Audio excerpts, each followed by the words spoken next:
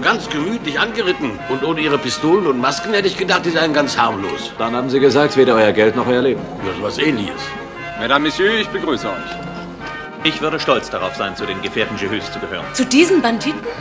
Es sind Edelmänner. Abenteurer. Und wer ist dieser Jehu? Ist eure Frage ernst gemeint?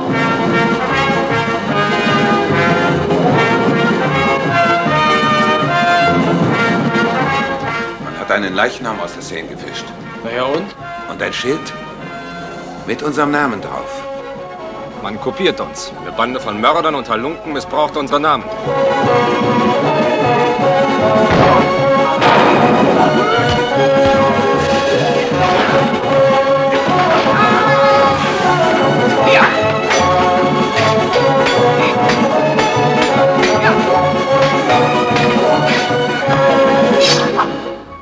Erweist mir die Ehre.